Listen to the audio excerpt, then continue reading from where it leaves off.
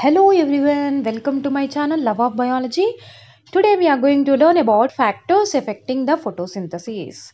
So factors which will affect the photosynthesis, we are going to learn what is photosynthesis. First of all, we know that it takes place in the plants, uh, synthesizing the food material in the plants they will prepare their own food in presence of water chlorophyll sunlight carbon dioxide this process occurs in the leaves that too in the chloroplast cells wherever the green regions are there there this is this will take place there are several factors which will affect the photosynthesis rate and efficiency.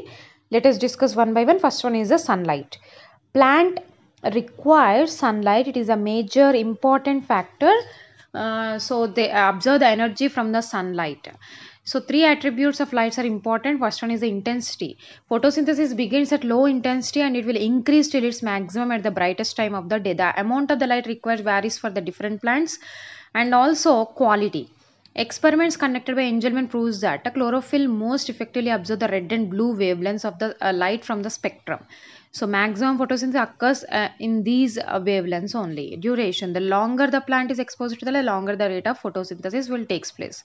So optimum thing will be there. So uh, beyond this, the photosynthesis does not takes place and below this also the photosynthesis does not takes place. So they require the optimum sunlight. Carbon dioxide concentration.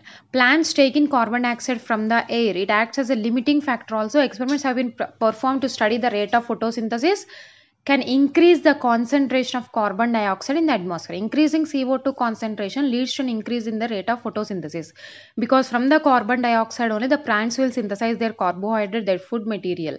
But beyond a certain limit carbon dioxide starts accumulates in the plant. This leads to the slowing down of process. So excessive carbon dioxide inhibits the photosynthesis. So optimum uh, amount of the carbon dioxide the plant will require for its photosynthesis process. Okay, so this is about the uh, carbon dioxide concentration. Next one is the temperature. So it is commonly seen in all biological and biochemical processes that they occur best in a certain optimum range only. The rate of photosynthesis increase with increase in the temperature till the optimum. Beyond the optimum levels, uh, the enzymes will be deactivated at the higher temperature. So the photosynthesis will stop.